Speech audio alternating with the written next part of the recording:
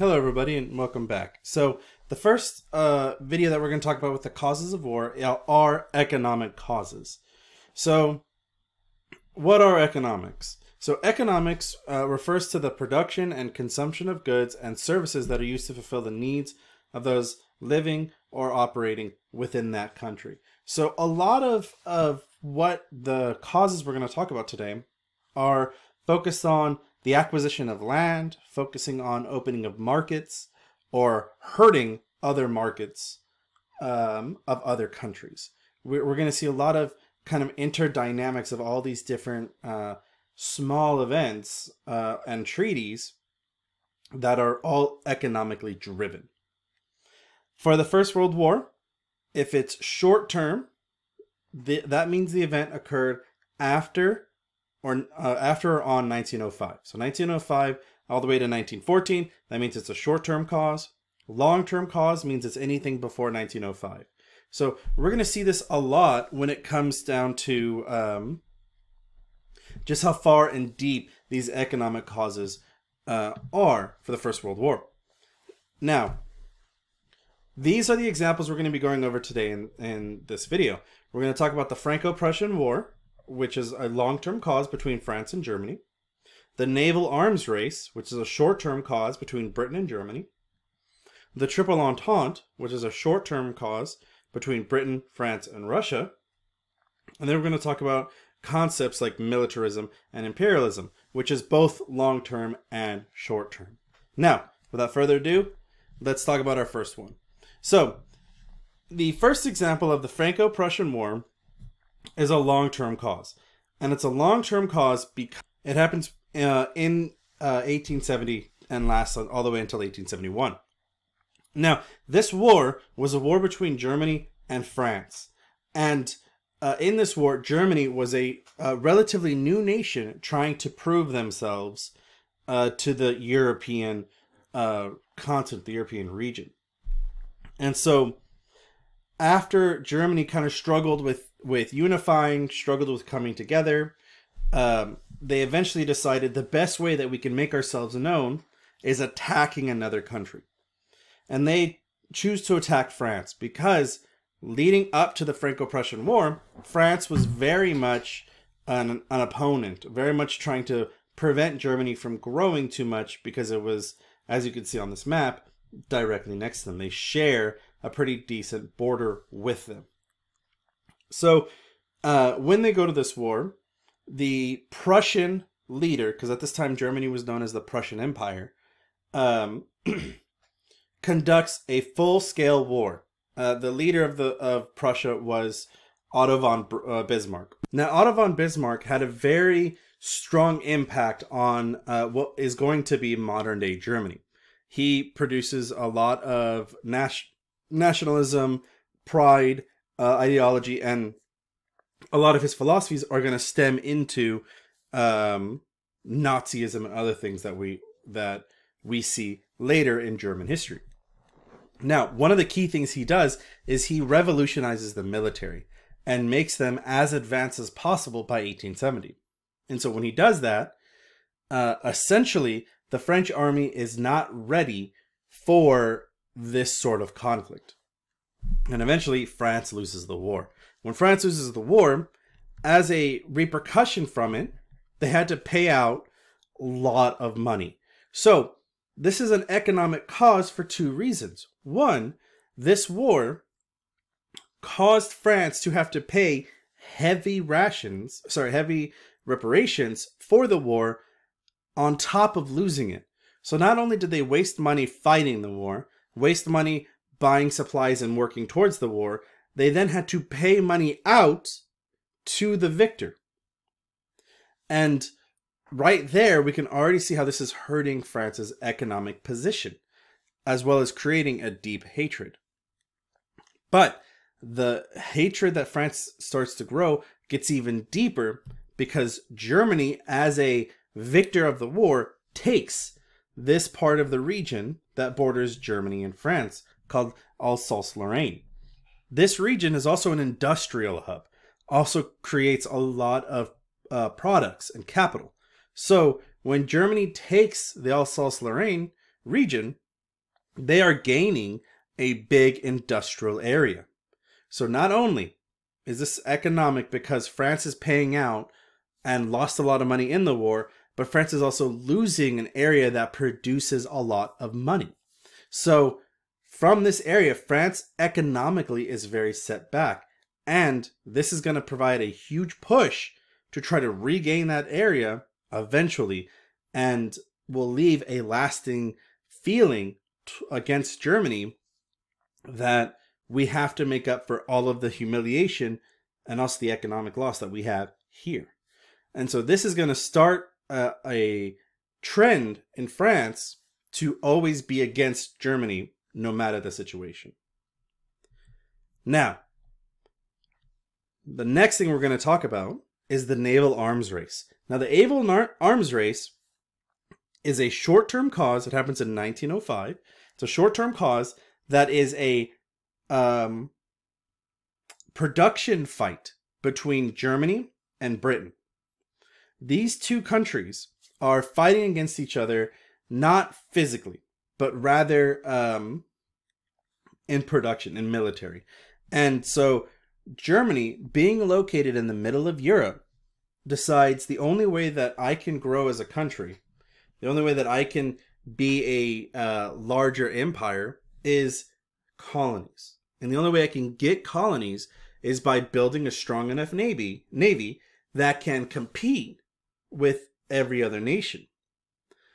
The biggest naval empire is Britain, as you all know. Britain and the Dutch East Indies has a massive navy that is dominating uh, the entire world. They have colonies in every continent of the world at this time. So when Germany says, you know, we need to compete and we need to try to to grow our navy, this becomes a direct threat to to Britain. Because Germany is now outwardly saying we're going to build a navy to not only compete with British Navy, but also put your colonies, your markets at a threat. Because if our Navy can build and be bigger and better than yours, then we're going to take your colonies, which means you're going to make less money and you're going to be less economically powerful. But on top of that, if we look at this graph here, as Germany starts building their their uh, navy, as we see here in in uh, like the greenish brown, and Britain right here in the red, each of these are dreadnoughts, right? Britain has one, four, six, and then it exponentially grows. As it grows, the thing you need to keep in mind is each one of these na- uh, battle cruisers, these dreadnoughts, cost between 1.7 and 2.5 million dollars at the time. Germany it's 1.1 to 2.4. So not only uh, is Germany threatening the British economic power of their navy by controlling colonies, but they're also spending and dumping millions of millions of dollars into building these ships and trying their hardest to just build as fast and as quick as possible. I mean, Germany goes from zero as they start production to four and then to seven. And then if you notice, Germany is always just a little bit behind until we get to here right before the war when things get a little bit um, more spicy. But this is a direct assault, a direct uh, threat to the British Navy, thus threatening their economic power in the world. And so this is going to be a major reason why Britain decides, hey, we need to do something about Germany. And now that Germany has essentially aggravated Britain and France, they want to make an alliance knowing that Germany is going to do things even worse. And so that's where we get to the uh, next example of economic causes the Triple Entente. Now, the Triple Entente is a short term cause, and um, the thing we need to know about it is that it is between Great Britain, Russia, and uh, France. But an entente, and what that word means is it's a friendly understanding or informal alliance between states or factions. What this specific triple entente was about was that these three countries will not come to the defense of each other, but rather will defend each other's economic markets. Essentially saying, we're not going to go to war with each other. And if Germany attacks you, hey, I'll let you guys handle it out, but I'll make sure Germany doesn't attack any of your colonies. And this entire alliance system is not based off of friendship, is not based off of trust. It is merely based off of defending each other's economic capital.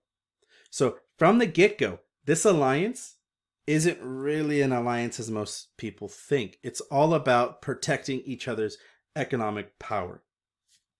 And is the main reason why, as we're going to see in the war, that these countries don't really work together. It's mainly you do this, I'll fight on this side, you fight over there, and then we'll we're we're attacking the same person. But at the end of the day, we're not really working together uh, in link until much later on in the war.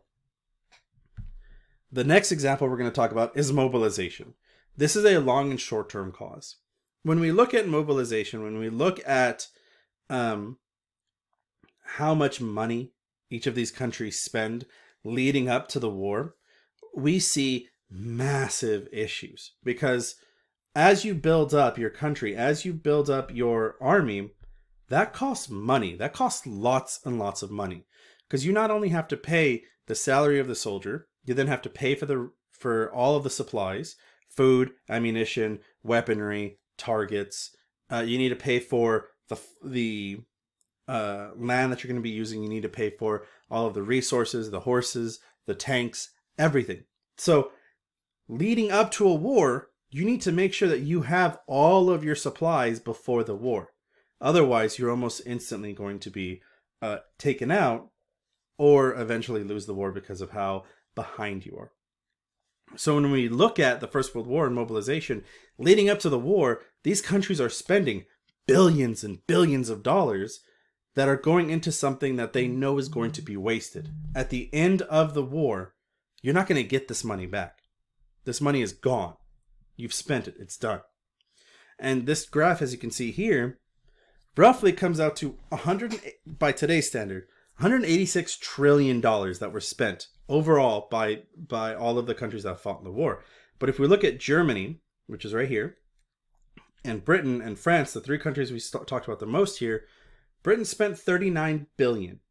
The British spent 38 billion. The French spent 26 billion. Economically, they've spent an ungodly amount of money before the war even began, which means at the end of the war, their economies are going to be weakened and they're going to need something to boost it back. And so each of these countries economically are going to push hard to win because look how much money they have on on the line. Look how much money they've already spent, which is not including everything else we just discussed. Now, the last one, um, this kind of comes down to something I referenced earlier in the introduction video.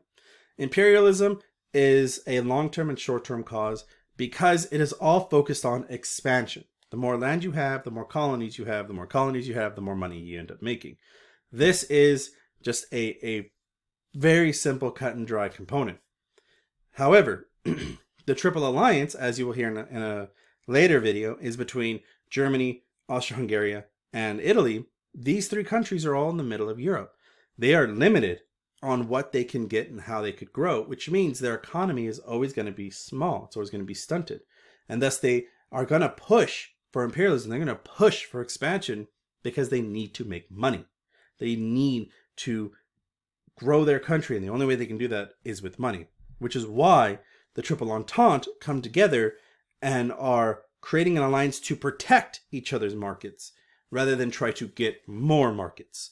And so economically, there's a lot of really big pushes for why one half of the war was about gaining money and growing your country, whereas the other half is all about protecting your money and protecting the markets that you have.